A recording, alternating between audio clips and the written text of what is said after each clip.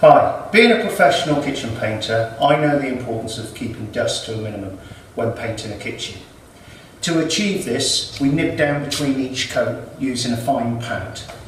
Then we use a hoover with a brush attachment to hoover off any excess dust.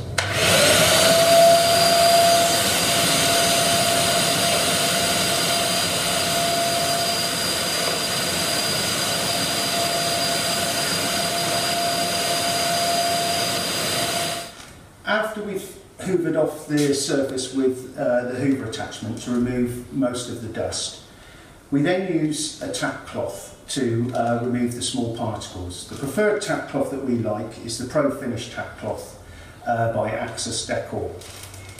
It's impregnated with special resins, so it enables you to pick up all small particles of dust that are still remaining on the surface.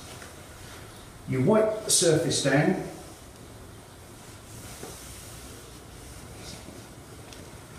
And as you can see, it's still picked up dust that you thought the hoover would have picked up.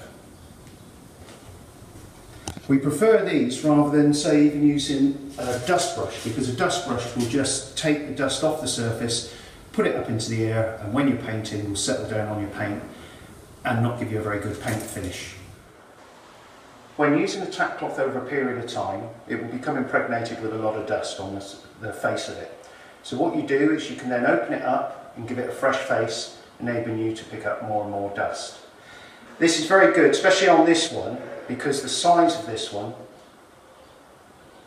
compared to your standard one, is very big. And at about a pound a cloth, very reasonable as well. If you want to take your paint finish to the highest level, I recommend Axus Decor Pro Finish Tack Cloth.